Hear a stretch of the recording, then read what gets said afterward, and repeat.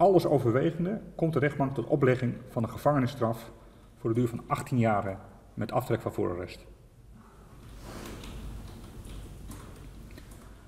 V en R-kamps hadden al jaren ruzie. Het zoveelste conflict leidde tot een aanval met een honkbalknuppel van V. Verdachte heeft na deze ruzie een honkbalknuppel gepakt en in een WhatsApp-gesprek tegen zijn vriendin gezegd dat hij weggaat om hem af te maaien. Verdachte heeft de volgende ochtend, 26 mei 2019, tegen zijn vriendin gezegd: Ik ga hem doodslaan, ik ga hem doodslaan.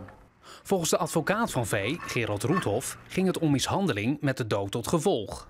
Maar daar denkt de rechtbank anders over.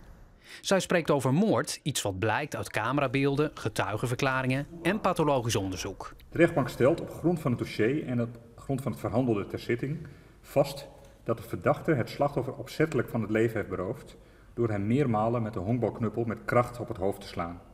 Bij het slachtoffer was sprake van uitgebreid schedel- en hersenletsel ten gevolge van hevige geweldsinwerking op het hoofd.